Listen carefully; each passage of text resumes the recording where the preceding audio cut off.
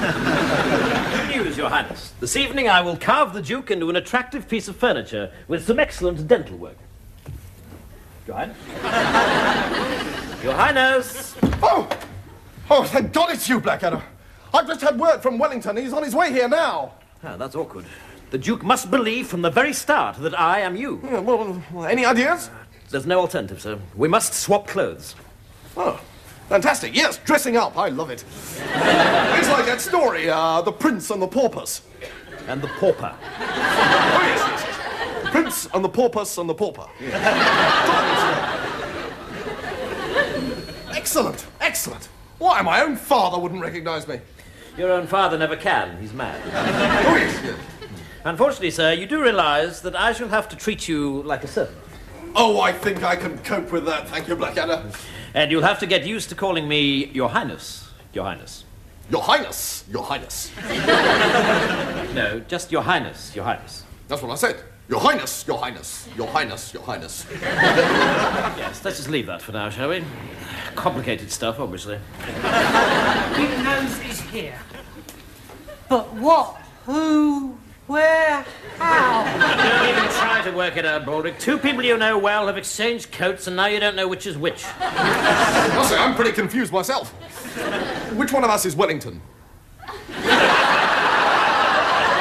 Wellington is the man at the door.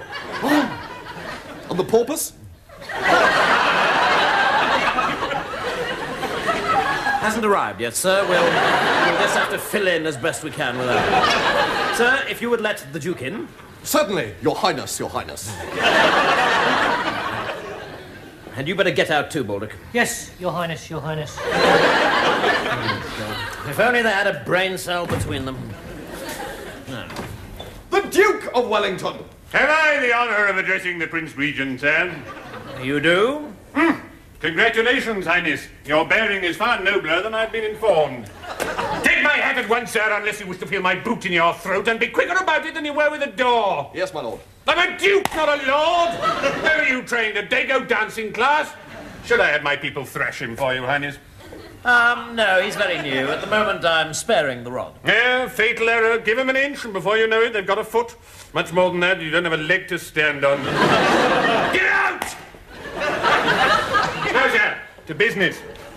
I'm informed that your royal father grows ever more eccentric, and at present he believes himself to be a small village in Lincolnshire, commanding spectacular views of the Nene Valley. I therefore pass my full account of the war on to you, the Prince of Wales. Oh, that's excellent. Thank you. We won. Signed Wellington. That seems up quite well. Was there anything else? Two other trifling affairs, sir. The men had a whip round and got you this. Well, what I mean is I had the men roundly whipped until they got you this. it's a cigarillo case, engraved with the regimental crest of two crossed dead Frenchmen, emblazoned on a mound of dead Frenchman motif. Thank you very much. And the other trifling thing? Your impending death, Highness. Oh, yes, of course. Mind like a sieve. Mm, I cannot deny. I'm looking forward to it. Britain has the finest trade, the finest armies, the finest navies in the world. And what do we have for royalty? A mad kraut sausage sucker and a son who can't keep his own sausage to himself. the sooner you're dead, the better. You're very kind.